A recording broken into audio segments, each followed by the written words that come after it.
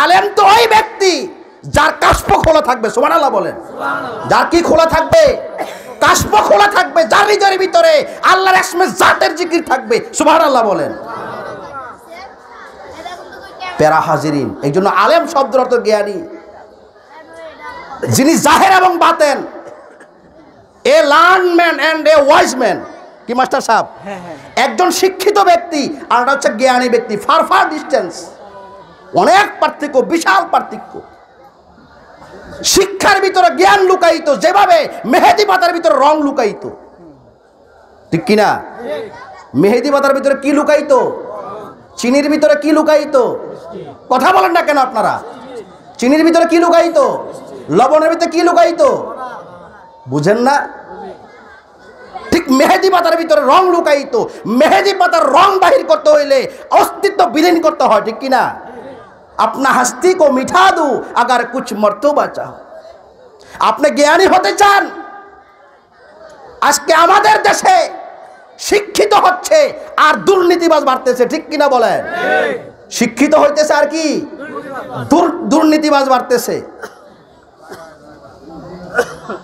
প্যারা হাজিরিন এই জন্য শিক্ষা আর জ্ঞান এক জিনিস নয়। শিক্ষা স্কুল, কলেজ, মাদ্রাসায় পাওয়া যায়। আর জ্ঞানী পাওয়া যায়, জ্ঞানী লোকের কাছে সুভান আল্লাহ বলেন।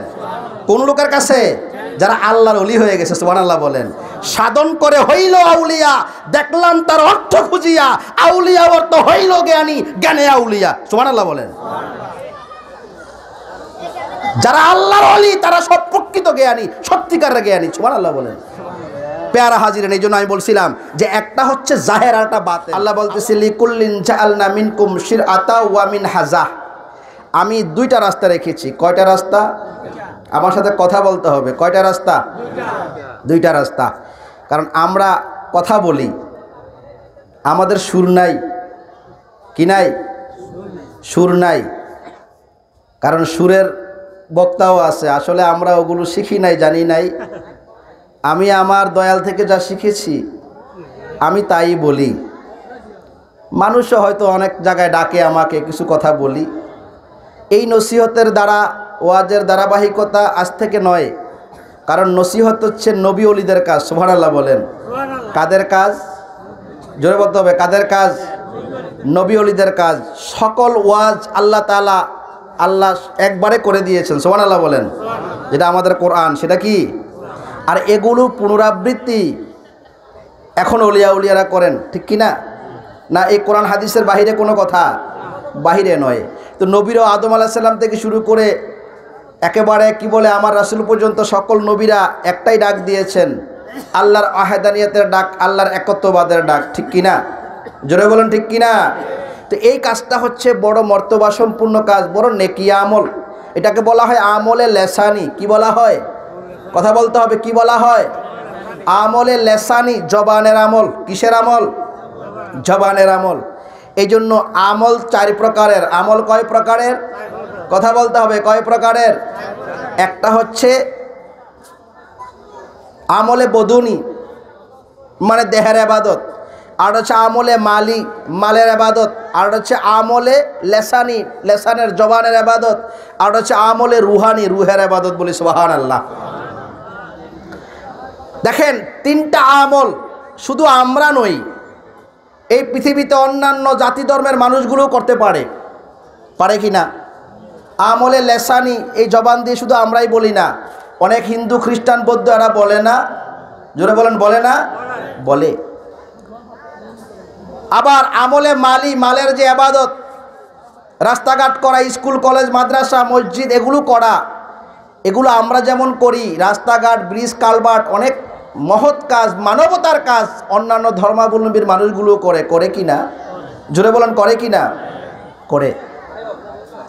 আবার আমলে বদনি, দেহ দিয়ে আবাদত করা, এটা আমাদের ছাড়া অন্যান্য ধর্মাবলম্বীর মানুষগুলো করতে পারে। কিন্তু একটা আবাদত, যেটা হচ্ছে আমলে রুহানি, এটা ইমানদার ব্যতীত আর- কেউ করতে পারে না। এখন এই রুহুটা কি আমাদেরকে চিনতে হবে? রুহুর আবাদত করতে চাইলে। নামাজ কি দেহে পড়ে? আমরা মনে করি নামাজ দেহে পড়ে। না, নামাজ দেহে পড়ে না। ভাই, আপনি অজু করছেন নামাজের জন্য। দেহ পবিত্র করেছেন। কি করেছেন? দেহ পবিত্র করেছেন। এটা, এই অজু দ্বারা দেহ পবিত্র হয়েছে এটা হচ্ছে শরীয়ত। এটা হচ্ছে কি? শরীয়ত। আর আপনি যখন কলব পরিষ্কার করতে, পবিত্র করতে পারবেন কি পবিত্র করতে পারবেন? কলব ওই ব্যবস্থা, যেই ব্যবস্থা নিলে আপনার কলব পবিত্র হবে, ওটার নাম হচ্ছে তরিকত বলি সোহার আল্লাহ তাহলে একটা হচ্ছে দেহ পবিত্র করলেন ওষু দ্বারা। আমি আপনাদেরকে আরও বুঝার জন্য বলতেছি, আমার এই জামাটা কিনা পাঁচ হাজার টাকা। যদি এখানে এক টাকা হারামের থাকে, সুদের থাকে, ঘুষের থাকে, হারাম উপায়ের থাকে তাহলে এই জামাটা কি পবিত্র না অপবিত্র? সবাই বলতে হবে, পবিত্র না অপবিত্র? আচ্ছা আপনাদের কাছে আমি জানতে চাই, কোন পানি দিয়ে ধৌত করলে জামাটা পবিত্র হবে? পরিষ্কার পানি দিয়ে। এটা পাঁচ হাজার টাকা, কিন্তু এটা ক্রয় করতে গিয়ে আমি এক টাকা হারামের টাকা লাগাইছি। কয় টাকা?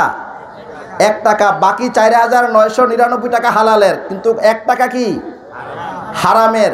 এখন আপনাদের কাছে জানতে চাই, আমি এই হারাম ঢুকাইছি না কাপড়ের ভিতরে? এটা কি এখন, এই কাপড়টা কি এখন কি পাক না না পাক কথা বলতে হবে, পাক না না পাক না পাক যেহেতু এটা হারাম ঢুকছে, কি ঢুকছে? হারাম ঢুকছে। এখন আমি আপনাদের কাছে জানতে চাই, কোন পানি দিয়ে ধৌত করলে এই আমার জামা পবিত্র হবে? হ্যাঁ? তার মানে পবিত্র করার ব্যবস্থা নাই। যদি এটাই হয়, তাহলে আপনি যে হারাম টাকার খাবার খাচ্ছেন, আপনার দেহের ভিতরে উধরে ঢুকাচ্ছেন, আপনার এই সারা দেহ নাপাক হয়েছে আপনি কোন পানি দিয়ে উজু আর গোসল করে পবিত্র করবেন?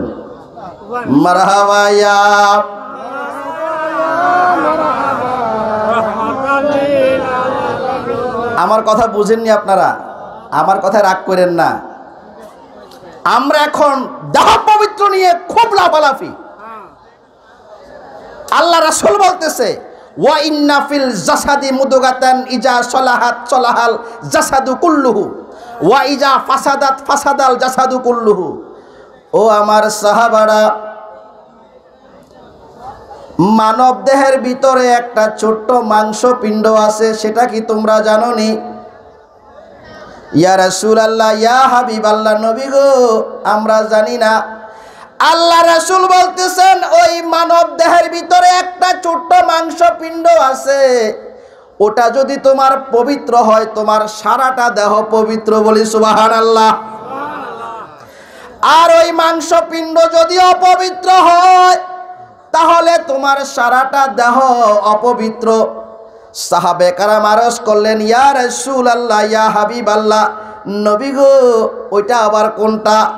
আল্লাহ রাসুল বলতেছে ওটা হচ্ছে আলা ওয়াহিয়াল কল বলি সুবাহান আল্লাহ ওটা হচ্ছে তোমাদের কলব বলি সুবাহান আল্লাহ ওটা কি? কথা বলতে হবে ওটা কি? কলব। এখন আপনাদের কাছে আমার জানার বিষয় কলব কি জাহের না বাতেন? প্রকাশ্য না গোপন? কলব কি দেখা যায়? দেহের অভ্যন্তরীতে ভিতরে অভ্যন্তরীণ ভিতরে ঠিক কি না তাইলে এই কলবটা আমি কীভাবে পবিত্র করব। আমি তো গোসল করলাম, পুকুরে যাই আর ডুবাইলাম, আমার দেহ পবিত্র করলাম, ঠিক কি না? কিন্তু আমার আত্মা কি? জোরে কথা বলেন, আত্মা কি? অপবিত্র। আমার দৃঢ় বিশ্বাস, আমার ধারণা, আমার একিন, আমার আকিদা যে আমি অজু করেছি, আমার দেহ পবিত্র হয়ে গেছে। আমার ফরজ গোসল লেগেছে, আমি গোসল করেছি, আমার দেহ কি? পবিত্র হয়ে গেছে। এটা আমাদের ধারণা, এটা আমাদের কি? ধারণা আমি আপনাদেরকে আরেকটা মেশাল দিলে বুঝবেন। একটা বাঁশের চুঙ্গার ভিতরে যদি পায়খানা ময়লা ঢুকিয়ে উফুর দিয়ে যদি আপনি এক হাজার বার বিসমিল্লা রহমান রাহিম বিসমিল্লা রহমান রাহিম বলেন এই এই বাঁশের কঞ্চিটা কি পবিত্র হবে? কেন? সবাই বলতে হবে। ভিতরে কি? ময়লা। তাহলে আগে কি করতে হবে? আগে ময়লা বাহির করতে হবে। আগে কি?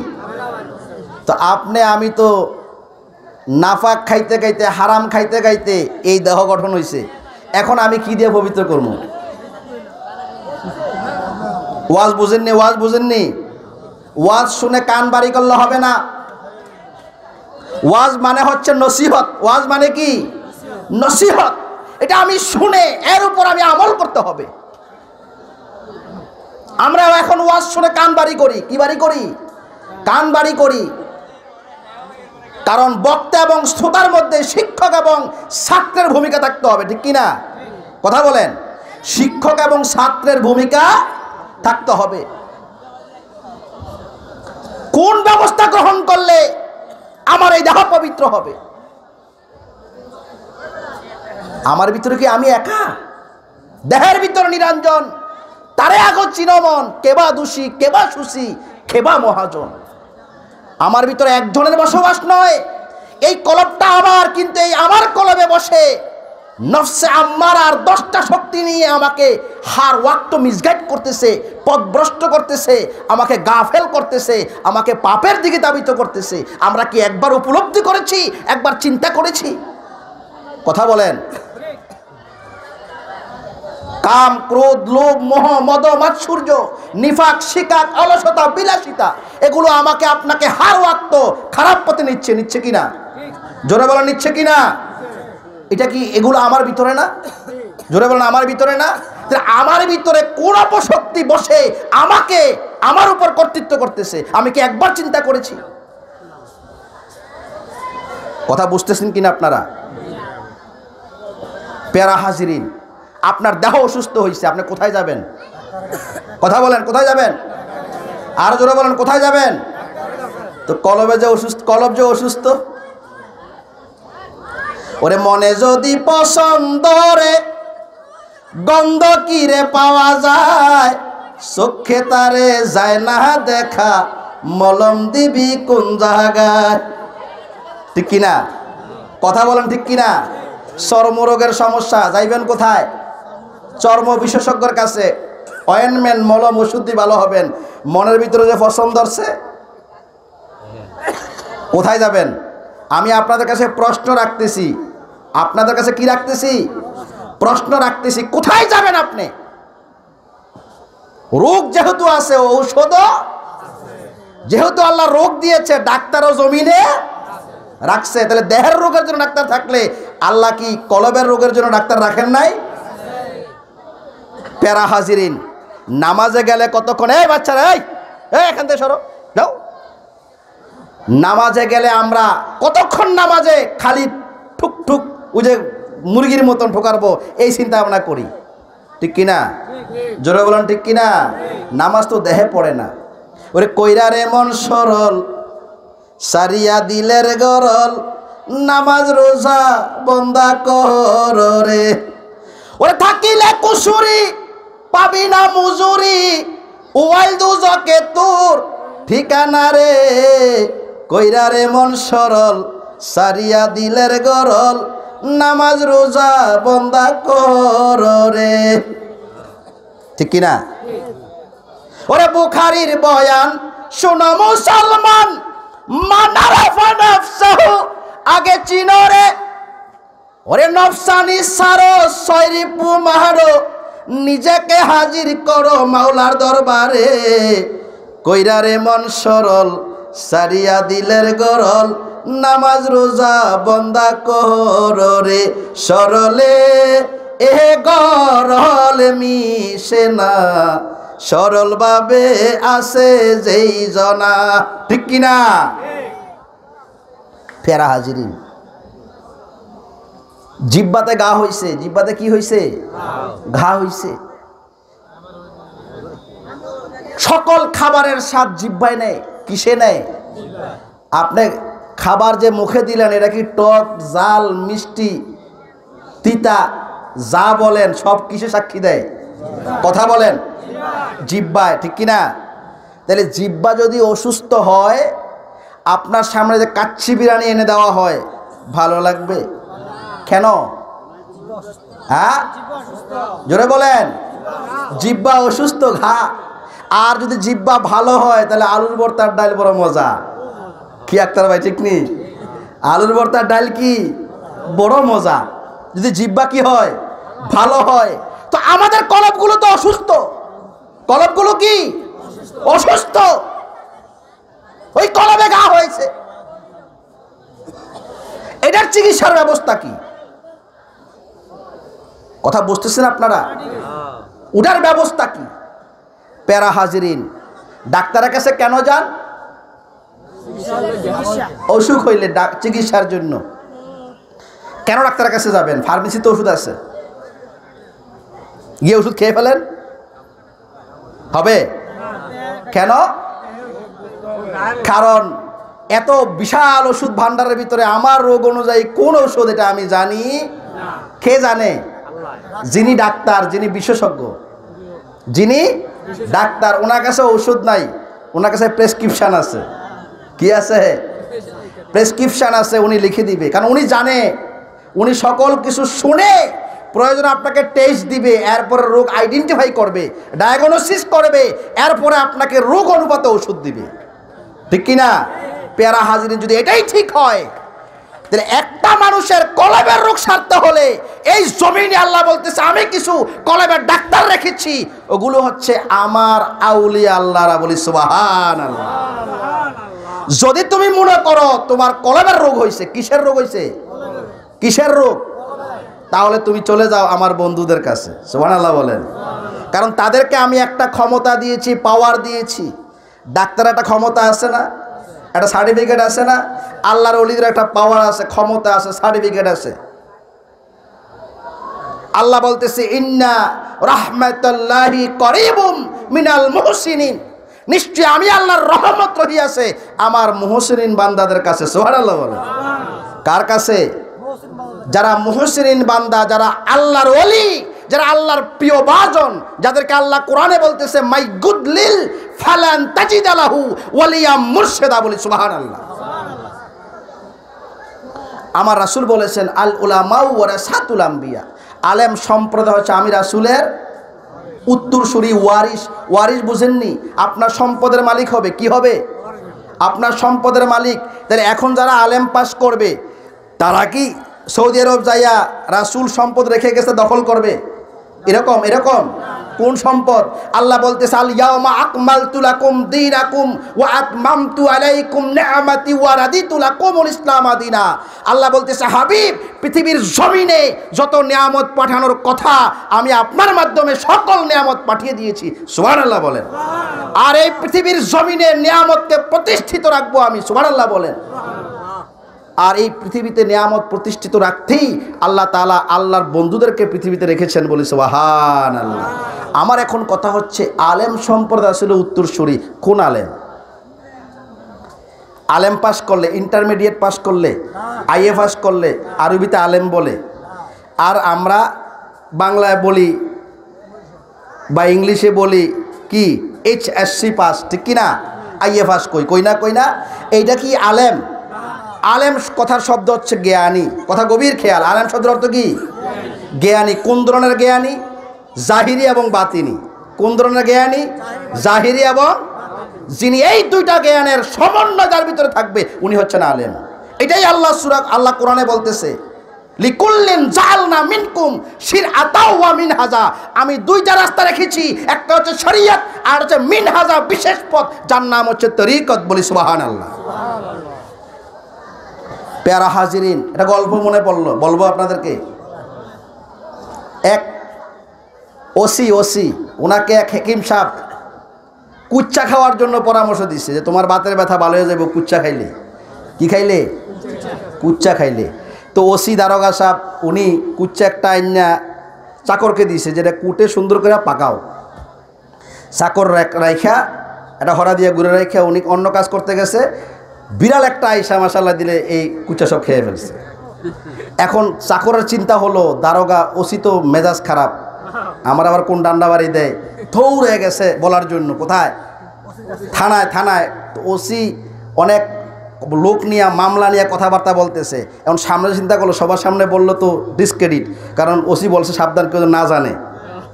আমি কুচ্চা খাব, এটাকে জানলে আবার আমার ডিসক্রেডিট এইবার উনি যাইয়া একটু বাসা পরিবর্তন করে বলতেছে, সাপ সাপ, এক কাজ হোগায়া বুঝতেছে না ওসি? চাকর কি বলতেছে?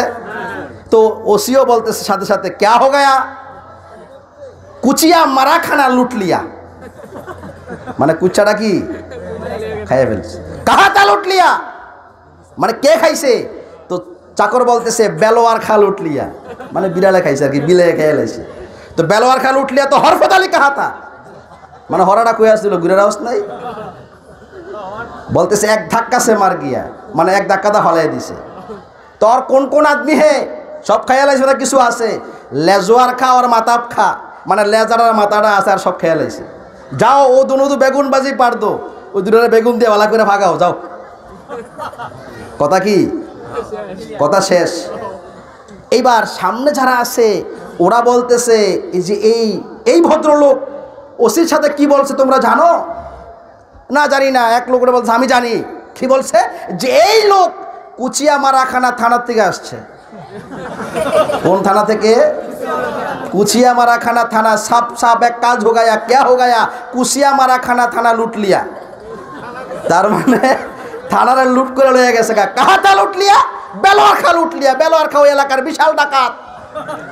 বেলোয়ার খাল লুটটাল সব লয়ে গেছে গা, অস্ত্র টস্ত্র টাকা বুঝা সব। তো হরফত আলী কাহা থা দারোয়ান আসিল না, এক ধাক্কা সে মার গিয়ে, এক ধাক্কা দিয়ে হরফত আলী মেরে লাইছি।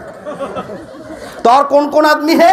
লেজওয়ার ঘর মাতাব খা বলছে, এই দুইটারে বেগুন বাজিয়ে পারতো তার মানে বলছে, বেগুন বাজে একটা থানা আছে, ওখানে ট্রান্সফার করে দিতে। কথা বুঝেননি? এই লোকের এই ব্যাখ্যা শুনে সবাই সন্তুষ্ট। সবাই কি? সন্তুষ্ট বলতেছে হ্যাঁ তোমার কথা ঠিক। তোমার কথা কি? ঠিক? আসলে ঠিক কিনা? কথা বলেন আসলে ঠিক কিনা? সে যে ব্যাখ্যা দিছে, এটা কি ঠিক? এটা না। ঠিক আমাদের বর্তমানে কোরআন হাদিসের এরকম অপব্যাখ্যা আমাদের মাঝে উঠাই দিতেছে। দাবি করতেছে আমি আলেম। দাবি করতেছে কি? আমি আলেম। আলেম তো ওই ব্যক্তি যার কাশ্প খোলা থাকবে সোমান আল্লাহ বলেন যার কি খোলা থাকবে? কাশ্প খোলা থাকবে যার নিজের ভিতরে আল্লাহর এসমে জাতের জিকির থাকবে সুবহান আল্লাহ বলেন। প্যারা হাজিরিন এই জন্য আলেম শব্দের অর্থ জ্ঞানী। যিনি জাহের এবং Baten a learn man and a wise man. কি মাস্টার সাহেব? একজন শিক্ষিত ব্যক্তি আর হচ্ছে জ্ঞানী ব্যক্তি ফার ফার ডিস্টেন্স। অনেক পার্থক্য বিশাল পার্থক্য। শিক্ষার ভিতরে জ্ঞান লুকাইতো যেভাবে মেহেদি পাতার ভিতরে রং লুকাইতো ঠিক কিনা? মেহেদি পাতার ভিতরে কি লুকাইতো চিনির ভিতরে কি লুকাইতো কথা বলেন না কেন আপনারা? চিনির ভিতরে কি লুকাইতো লবণের ভিতরে কি লুকাইতো বুঝেন না? ঠিক মেহেদি পাতার ভিতরে রং লুকাইতো মেহেদি পাতার রং বাহির করতে হইলে অস্তিত্ব বিলীন করতে হয়, ঠিক কিনা? আপনা হস্তি কো মিঠা দু আগার কুছ মর্তবা চাও আপনি জ্ঞানী হতে চান আজকে আমাদের দেশে শিক্ষিত হচ্ছে আর দুর্নীতিবাজ বাড়তেছে ঠিক কিনা বলেন শিক্ষিত হইতেছে আর কি দুর- দুর্নীতিবাজ বাড়তেছে প্যারা হাজিরিন এই জন্য শিক্ষা আর জ্ঞান এক জিনিস নয়। শিক্ষা স্কুল, কলেজ, মাদ্রাসায় পাওয়া যায়। আর জ্ঞানী পাওয়া যায়, জ্ঞানী লোকের কাছে সুবহানাল্লাহ বলেন। কোন লোকের কাছে? যারা আল্লাহর অলি হয়ে গেছে, সুবহানাল্লাহ বলেন। সাধন করে হইল আউলিয়া, দেখলাম তার অর্থ খুঁজিয়া, আউলিয়া অর্থ হইল জ্ঞানী, জ্ঞানে আউলিয়া। সুবহানাল্লাহ বলেন। যারা আল্লাহর অলি তারা সব প্রকৃত জ্ঞানী, সত্যিকারের জ্ঞানী, সুবহানাল্লাহ বলেন। পেয়ারা হাজিরেন, এই জন্য আমি বলছিলাম যে একটা হচ্ছে জাহের আর একটা বাতেন। আল্লাহ বলতেছে, লিকুল্লিন জাআলনা মিনকুম শির আতাউ আমিন হাজা আমি রাস্তা দুইটা রেখেছি। কটা রেখেছি? আমার সাথে কথা বলতে হবে। আমার মূল থিম কিন্তু এটা। আজকে জাহের এবং বাতেন আপনাদেরকে বুঝিয়ে দেব। বাতেন হচ্ছে কলব। আমি সর্বপ্রথম বলেছি বলেছি না? তাহলে জাহের এবং বাতেন না বুঝলে আপনি পীরের গুরুত্ব বুঝবেন না। একজন মানুষের পীর ধরা ফরজ ফরজ ফরজ। যার পীর নাই, তার পীর শয়তান। যার ফির নেই, তার ফির কি? শয়তান। তিরমিজি শরীফের হাদিস, ওয়ামান মাতা ওয়ালাই সাফি উনুকিহি বায়াতুন মাতা মিতাতান জাহিলিয়াতান। যে ব্যক্তি যুগের ইমামকে চিনল না এবং তার হাতে বায়াত গ্রহণ করল না, তার মৃত্যুটা হবে জাহেলিয়াতে, অন্ধকারে, কুসংস্কারে। বলে না উজুবিল্লা কার কথা? রাসূলের কথা, কার কথা? রাসূলের কথা। এই কথা দ্বারা আমরা বুঝতে পারি, যদি যুগের ইমামের কাছে, যুগের হাদির কাছে, একজন আল্লাহর ওলির কাছে, যদি কি থাকে, বায়াত গ্রহণ করলে যদি আমরা ইমানের সহিত মৃত্যুবরণ হয়, তাহলে বোঝা গেল, ওই যুগের হাদি তথা আল্লাহর বন্ধুর কাছে একটা আলো আছে। কি আছে? ইমানের আলো। কিসের আলো? জোরে বলেন, কিসের আলো? ইমানের আলো। ঠিক কিনা? তাহলে আমরা এখন পেতে হবে। আমরা যুগের হাতি, যুগের ইমাম, যেহেতু রাসুলের কথা, যে যুগের ইমামকে চিনলো এবং তার হাতে বায়াত গ্রহণ করল। কি করল? বায়াত গ্রহণ করা, এটা আল্লাহর পছন্দ। কার পছন্দ? জোরে বলেন, কার পছন্দ? আল্লাহ সূরা ফাতার 18 নম্বর আয়াতে বলতেছে হাবিব, যারা বাবলা গাছের নিচে আপনার হাতে হাত রেখে বায়াত গ্রহণ করল, আমি আল্লাহ তাদের প্রতি রাজি এবং খুশি। সুবহানাল্লাহ বলেন। কার কথা? আল্লাহ আল্লাহর কথা। সুরা ফাতাহা, আঠারো নম্বর আয়াত। রাদিয়াল্লাহু আনিল মুমিনিনা ইজ ইউ বায়ুনাকা তাহাতা সাজারা রাসূল বায়াত করাইতেছে, আল্লাহ খুশি। সুবহানাল্লাহ বলেন। আল্লাহ বলতেছে, আমি তাদের প্রতি রাজি এবং খুশি। কে কয়? আল্লাহ বলতেছে। আবার রাসূল বলতেছে, যুগের ইমামের কাছে কি আছে? আলো আছে, কি আছে? জোরে বলেন, কি আছে? ইমানের বাতি জ্বালাই, ওরে আধার করে তালাশ কর। দেখতে পাবি মাওলা কি সুন্দর। সুবহানাল্লাহ বলেন। কিসের বাতি? জোরে বলেন, কিসের বাতি? আল্লাহ বলতেছে, ওফি আনফুসিকুম আফালা তুফসিরুন আমি তোর ভিতরে আছি, তুই আমারে কেন দেহস না? কে কয়? জোরে বলেন, কে কয়? নামাজ খালি আন্দাগুন্দি বললে হবে না। আন্দাগুন্দি লাগাইলাম, লাসা লাগুক, না লাগুক, আল্লাহ ভরসা। এই, নামাজ পড়লে জান্নাত পাওয়া যায়, এটা হাদিস। আর নামাজ পরে জাহান্নামি হয়, এটা কোরআন। জানান আপনারা? নামাজ পড়ে জান্নাতি হবা, নামাজ পড়ে জান্নাতি হবা, নামাজ পড়ে জান্নাতি হবা। সকলে ওয়াজ পড়ে করে, কিন্তু নামাজ পড়ে জাহান্নামি হবে, এই ওয়াজ কেউ করে না। আর সালা সালাতু মিফতাহুল জান্নাত, নামাজ কিসের চাবি? রাসূল বলছে, আর আল্লাহ সূরা মাউনে বলতেছে, ফাওয়াইলুল মুসাল্লিনা আল্লাযিনা হুম। অনেক লম্বা যাব না। আল্লাহ বলতেছে, ও নামাজি, যদি তোর নামাজ না হয়, কি না হয়? কথা বলেন, কি না হয়? তোর নামাজ না, আমি গাট্টি বাইন্দা তোর নাকে মুখে নিক্ষেপ করব, আর সাথে তোর ওয়াইল দুজকে নিব। কে কয়? জোরে বলেন। তাহলে নামাজ পড়ার আগে চিন্তা করতে হবে, নামাজ কেমনে পড়লে হবে? ঠিক কিনা নামাজ পড়লে জান্নাত পাওয়া যায় না। নামাজ হইলে জান্নাত পাওয়া যায়। এই জন্য নামাজের শিক্ষা নিতে হলে আগে আপনাকে নফসের বিরুদ্ধে জাহাদ করে বিজয় লাভ করতে হবে। সোমান আল্লাহ বলেন। শত্রুর বিরুদ্ধে যুদ্ধ করতে গেলে ডাল লাগে, তলোয়ার লাগে। লাগে কি না? বেড়া তলোয়ার লিয়ে এই সামনে খালি হাতে যান, কত বীর ফালোয়ান খুব একটা দিয়ে তো সাইজ করে লাগব। কিও? আর যদি আমরা ডাল তলোয়ার লয়ে যান, বেটার কাছে পিস্তল থাকে তাইলে কাম হইব নি। তার মানে সমানে সমানে হলে যুদ্ধ করুন যায়। যার শক্তি বেশি, সেই জয়, ঠিক কি না তাহলে শয়তান একটা শক্তি নিয়ে আইছে না? কথা বলেন, শক্তি নিয়ে আইছে না? শয়তান আমাদের ভিতরে যে আছে, একটা শক্তি নিয়ে আসছে কিনা? লম্বা ইতিহাস। অনেক লম্বা কথা। শয়তান কি, যখন আল্লাহ বলছে, যাও তুমি বাইর হয়ে যাও, তোমাকে মালাউ নুজ ইবলিস শয়তান হিসাবে ঘোষণা করল। আল্লাহ কয়, আমি কি এত জীবন শয়তান বলতে এত জীবন আমি যে আমল করেছি, বৃথা যাবে কি চাও? তখন সে কিছু শক্তি নিছে আল্লাহর কাছ থেকে, যে আমি মানুষের রগ রেশায় ঢুকবো সীমাল থেকে জুনুর মুহূর্তের মধ্যে ঘুরবো, কেয়ামত পর্যন্ত হায়াত দাও আল্লাহকে দিলাম, যা। তখন শয়তান বলছিল, আল্লাহ কীভাবে তোমার বন্দা তোমাকে সেজদা করে, তোমার আবাদত করে, আমি একটু দেখে ছাড়বো। আল্লাহ কয়, দেখ, তুই দেখ তুই দেখ, আমার বন্দা যতই পাপ করুক, আমি আল্লাহ বলে দিয়েছি, লা তাখনা তু মির রাহমাতিল্লাহ। ও বন্দা, আমি আল্লাহর রহমত থেকে নৈরাশ। বলেন তো, বিয়ে করলে কি হয়? স্বামী হয় স্বামী হয়, বোঝেন না আপনারা কথা? আপনাদের কাছে কথাগুলো নতুন মনে হচ্ছে। কালের চক্রে বক্র গতিতে চলিতাছে অবিরাম।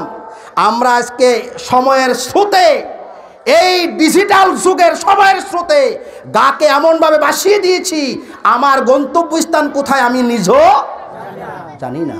বড় আফসুস বড় আফসুস, বড় কষ্ট লাগে। বড় কষ্ট লাগে। প্যারা হাজিরিন, অনেক কথা, কিন্তু আমি আপনাদেরকে মূল থিমগুলো ধরে দিচ্ছি। নামাজ যদি আপনাকে কবুল করাতে হয়, তাহলে আপনার আত্মাকে আগে সুস্থ করতে হবে। কি সুস্থ করতে হবে?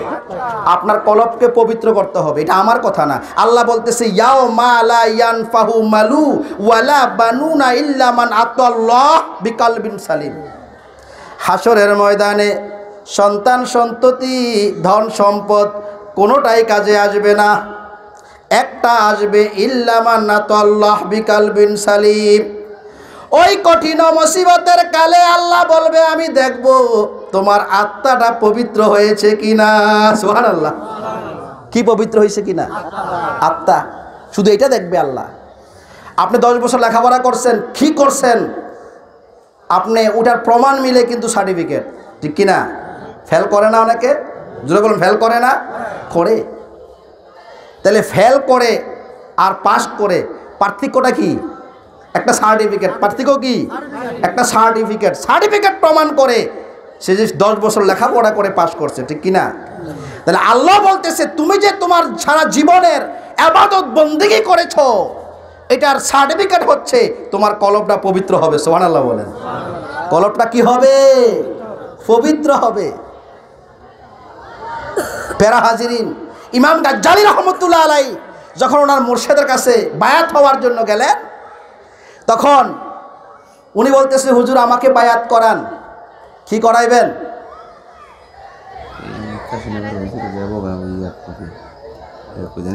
পারি ইব্রাহিমের কাছে বস না ইব্রাহিমের কাছে ইব্রাহিমে পৌনি ধরে না ইব্রাহিমে একটু বসতে পারো আমি তো বিশ মিনিট শেষ করে জানাইতেছি আইতেছি। আমি আইতেছি আর বিশ মিনিট পরে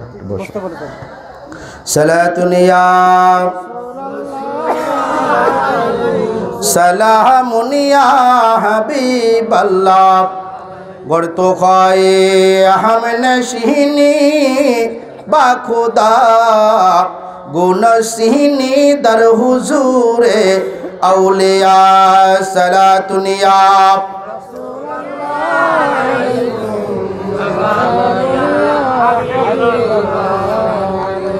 তাহলে আল্লাহ হাসুরের ময়দানে কি দেখবে?